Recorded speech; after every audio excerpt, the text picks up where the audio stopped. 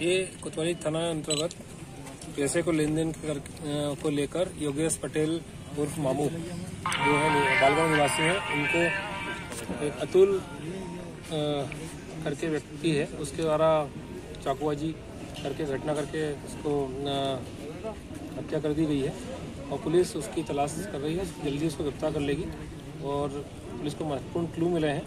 और हम लोग जल्दी इसको कार्रवाई करेंगे। पैसे का लेन देन का प्रथम दृष्टा ये जानकारी मिली है कि मृतक जो है उसको आरोपी से पैसे लेने थे और बहुत से पैसे चाह रहा था उसी वजह से उसने उसको बुलाया था और इस संपूर्ण बिंदुओं पर इसमें जाँच की जा रही है। विवेचना करके भी इसको कार्रवाई की